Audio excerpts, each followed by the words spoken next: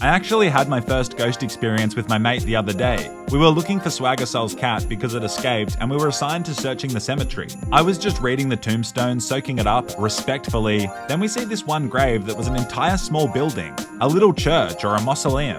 These guys were flexing on the entire graveyard. I had to have a look. So I go up close and on a gold plated plaque it said, the Miller family tomb. There was this wooden door and I opened it up a little bit and then got weird. It went deathly silent, all the car noises stopped, and then this freezing breeze swept up under my friend Dork and me. I felt chills go up my body and so did my mate. I swear I also saw something or someone inside the tomb. I know apologized out loud to the Miller family. I get home that night shook. My girlfriend wants to watch a comedy movie, and I'm thinking, great, this will take my mind off the dead.